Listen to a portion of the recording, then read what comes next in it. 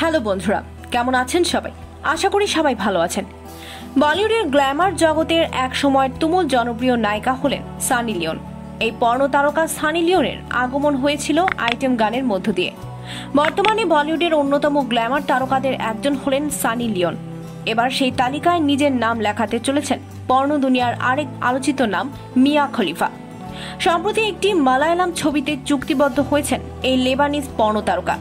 ছবিটিতে একটি বিশেষ দৃশ্যে ও একটি আইটেম গানে দেখা যাবে তাকে। এই অ্যাডাল্ট কমেডি ধাঁচের ছবিটির নাম হচ্ছে চান ক্রস টু এই সিনেমার প্রথম পার্টটিও তুমুল জনপ্রিয় হয়েছিল। ছবিটির পরিচালক ওমর লুলু বিষয়টি নিশ্চিত করে বলেন, মিয়া খলিফার সাথে আমাদের সকল প্রকার আনুষ্ঠানিক প্রস্তুতি সম্পন্ন হয়েছে।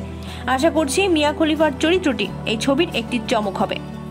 বন্ধুরা, সানি লিওনের পর ভারতীয় সবিজ অঙ্গনে আরও একজন পর্ণ তারকার আগমন হলো। এই আগমনকে কীভাবে দেখবেন অন্যান্য কলাকুশলীরা তার সময় বলে দেবে। আপাতত আমরা স্বাগতম জানাই মিয়া খলিফাকে। বন্ধুরা, ভিডিওটি ভালো লাগলে একটি লাইক করুন এবং আপনার বন্ধুদের সাথে শেয়ার করুন।